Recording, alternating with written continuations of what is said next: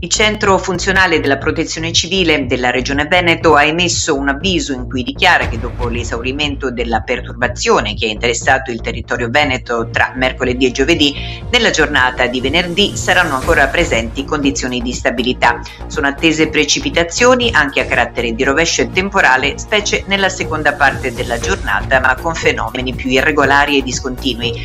Si prevede criticità idrogeologica, eh, stabilendo per eh, Venerdì, da mezzanotte alle 14, lo stato di attenzione allerta gialla per i bacini Piave Pedemontano, Alto Brenta Bacchiglione Alpone, Adige Garda, Montilessini, Po Fissero Tartaro Canal Bianco e Basso Adige. Basso Brenta, Bacchiglione, Basso Piave, Sile, Bacino Scolante in Laguna, Livenza, Lemene e Tagliamento.